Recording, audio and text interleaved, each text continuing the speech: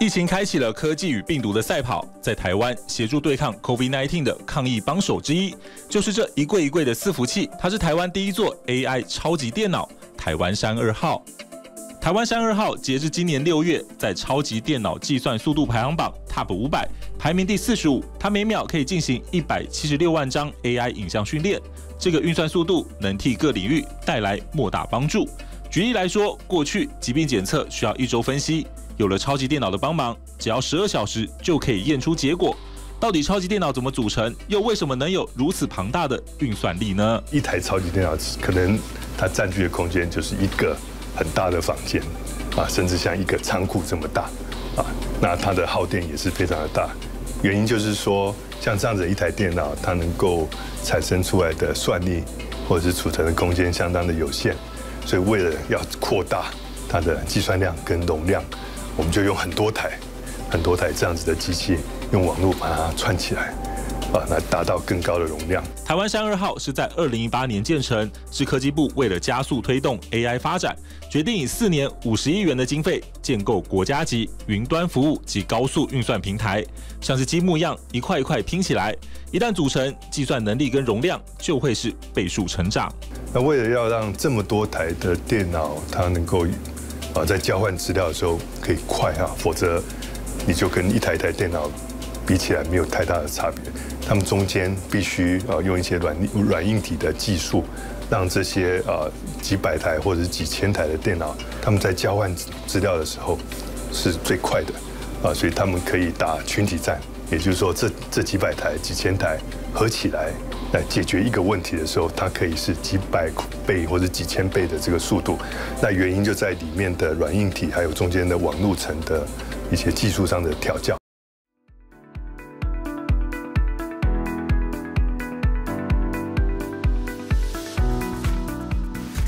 全球对抗 COVID-19 已经打了超过两年的持久战，如今在传新形态变异株出现，为了加快速度防堵病毒扩散，并找出完全抑制病毒的疫苗，各国无不加紧脚步，借科技力量找解方。指挥中心不敢大意，将从基因定序来看是否为这一款新变异株。根据它变异的点多哈，那专家们预期就是说，相对的哈，其那些保护力哈，疫苗保护力可能会降低，哈，但是并没有实证的科学。台湾从今年七月开始实施入境全面 PCR 检测，若检测出阳性结果，就得进行病毒基因定序。但这个专有名词到底代表什么意思？在防疫上又扮演了什么角色？现在医疗我们都在讲精准医疗，那精准医疗第一个就是我们要知道你的基因的组成，那就需要有我们定序。那定序完以后，我们就要去分析。但是在分我们这个序列分析完之后，我们怎么知道它有有疾病？其实它前面还有一个很重要，是我们要有很多人的基因序列去分析。每个 DNA 就像是一本大大的遗传密码本，透过基因定序把密码列出来，大规模解码基因资讯。这样一来，经由解码比对，不仅可以确认病毒种类，还有更大几率及时检测出新的突变病毒。换句话说，基因定序能用来推论病毒突变过程，掌握病毒的演变模式。二十年前 SARS 刚开始的时候，那时候所谓的基因定序还没那么发发达，那大概一个礼拜，它才能做出一条定序出 SARS 的基因。那加上后面的处理，大概就花一两个礼拜才能针对这个基因，我们去找出适合的疫苗啊，或是才能去开始研究。但现在来讲呢，我们现在一一周或一个一天就可以处理到六千条基因的序列。这样的来讲的话，我们在研发疫苗啊，这些反应都比较快。而不止 COVID-19，随着许多研究证实，疾病和基因有密切关联，基因定序运用的范围越加广泛。但不论要加速配出有效疫苗，还是做孕期或癌症检测，要将未知变成已知，需要庞大的运算能力。如何训练更多兼具科技与医疗知识的跨领域人才，成为当务之急。这个大概是一九一七年西班牙流感说最严重的那面临的大大大灾难吼。借 COVID-19 的病毒序列进行小组实验和讨论，阳明交大就开设了工程与计算生医产业硕士产学专班。学生要学的除了生技医疗知识，还有操作运算的能力。医学本身是经验的科学啊，那过去是经验的累积，呃，常常你问那些老师傅说，哎，为什么你会这样想？他说我我我也不知道，好像就是经验多了就有这样的一个想法。大数据科学其实是一种概念啊，我们在做一些的资料的会诊，我们透过 AI，其实呃叫做呃知其然不知其所以然，可是都可以拿来使用在实际的场域上面啊。那对于未来这种各个领域导入到这个医疗啊，我觉得这是方兴未艾的趋势。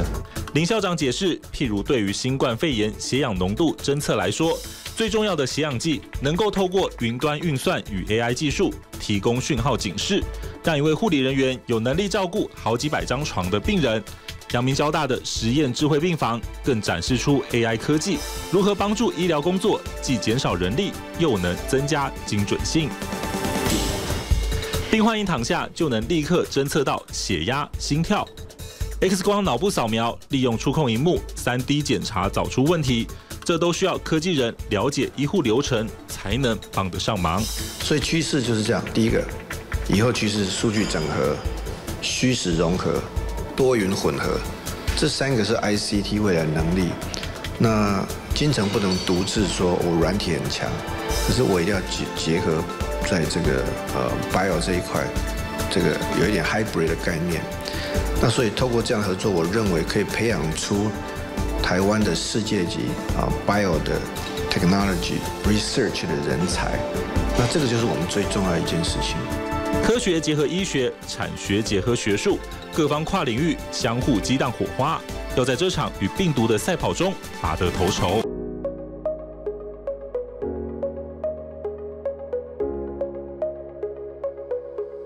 其实我认为软体是可以定义一切，我认为演算法可以统治世界，我认为 ICT 本身一直在 redefine，可以 redefine IT、OT、IOT 跟 AIOT。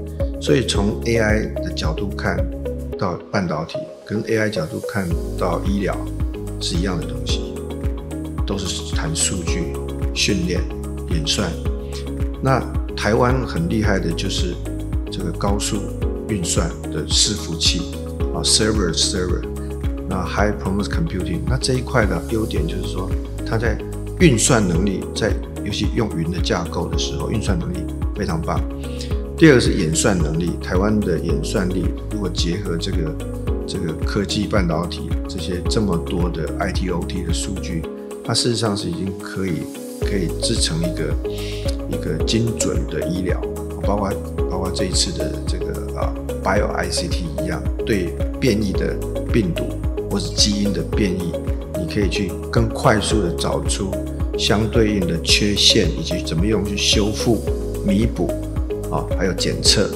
那金城认为软体跟一家具有半导体 background 啊工程的这个像阳明交大是 perfect match。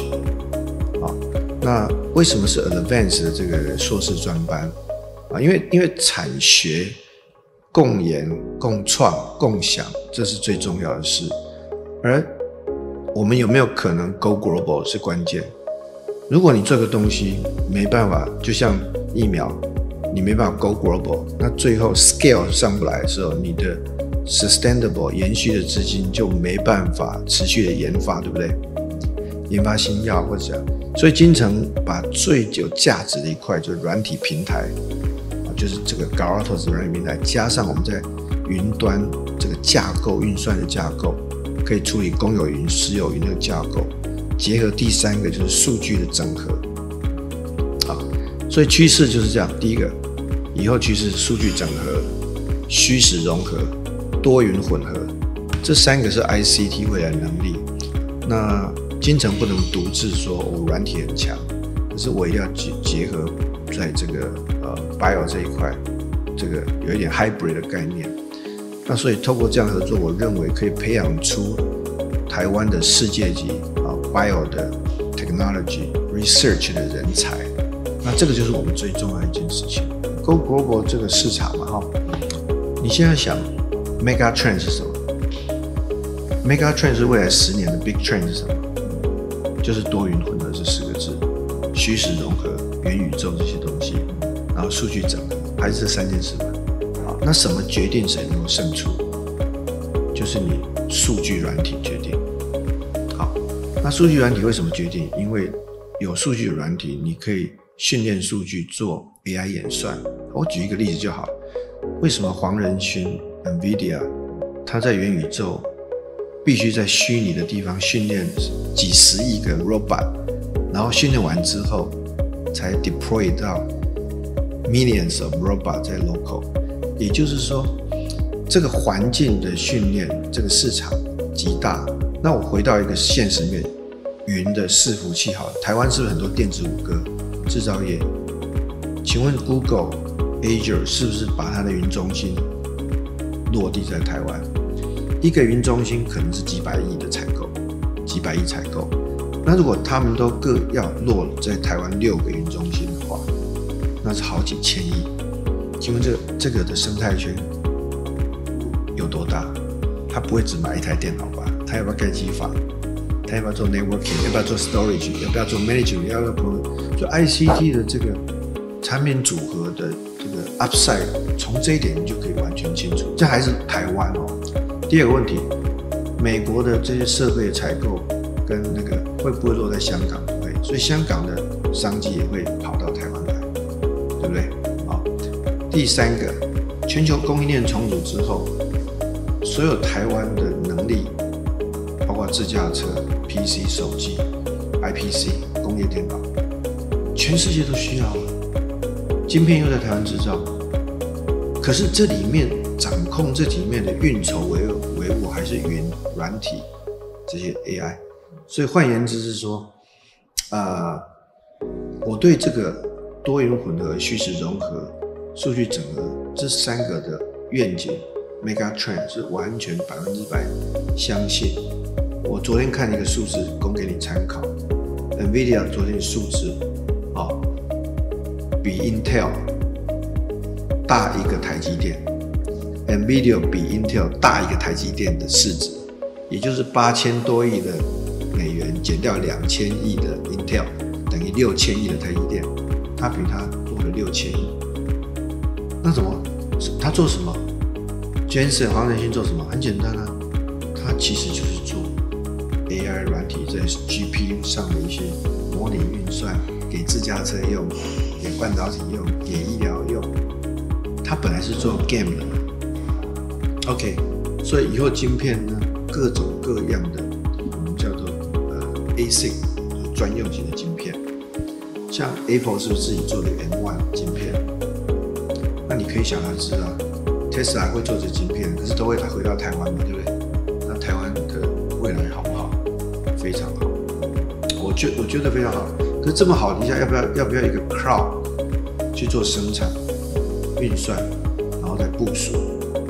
啊，我们叫 DevOps 这种 development operation 这种所谓的 CI/CD 这种 technology，这种东西就是说，你开发测试到版本更新到部署是 autonomous 全自动化，不是 automation 哦，是 autonomous 自主化。自动化跟自主化完全不一样，自主是它自己会修复、自己会更正、自己会演化更好，自我学习。可是自动化只是好像机器人这样，我做完给你，你做完给我。所以 autonomous 跟 orchestration 协奏，好 orchestration 就是协奏啊，就是那在数据跟软体方面，我认为是未来台湾最大的一个啊可以可以关注的核心力量。这也就是金城现在最最重视的能力。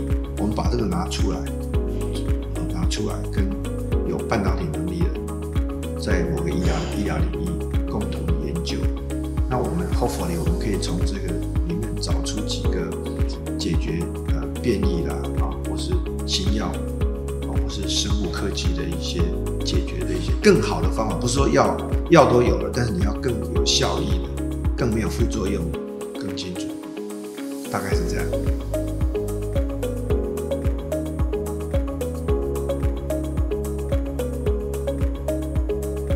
大家好，我是石建华，毕业于交大生物技术组，那现在服务于高奥的金城集团高奥斯团队的基因组。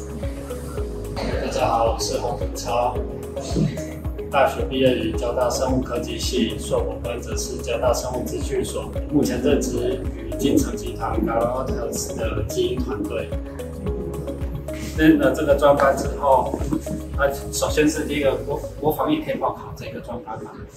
那国防役呢？我们是国防役是不能报考这个专班的。那如果想报考这个专班呢，其实它是比国防役的条件还要优优秀、呃优良。那第一个就是我们会有两年三十万的补助金，那还有提供一个产业实习的机会，那又可以在暑假的时候来这边实习，那让您在你的学习时候呢，兼顾到学业以及未来发展的东西。那么就读这一个专班的话，有奖学金或是其他的奖励吗？那金盛集团这提供了两年的，两年三十万的补助。那这个是在毕业之后呢，然后再来我们金盛集团可以直接来就业。那我相信这个产业专班里面的师资呢的训练呢，以及我们金盛集团里面的这些学长姐哦，他在不管是在技术领域，那生物资讯的领域，那还有基因的领域。他甚至是那个 cluster，然后这种超级电脑的架设平台，那都可以提供你很好的学习环境。这个产学专班听起来还蛮不错。那请问一下，那个考试的科目方向有什么建议的吗？那这个产业班现在考试就可以从两个选选择一个。那您自序领域毕业的话，可以选择线性代数。那如果是生科领域毕业，可以选择生物化学。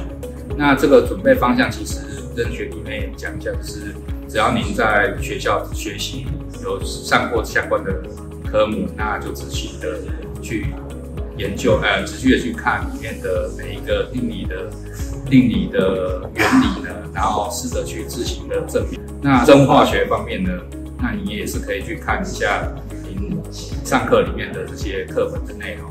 然后加上你的学长姐的笔记，那我相信是可以在这个考试里面呢得到很好的成绩。那如果考过这一个研究专班之后，那我中途想要转型或是转系，那这样子是可以的？那我这个专班呢是不能转学的，但是我相信很多学弟妹进来的专班，那除了提供这个奖助学金之外，那这个。里面的师资呢，跟这个竞争集团的学长姐提供的这些这些我们学习环境呢，那是可以让在未来就业时候呢是很好处理的。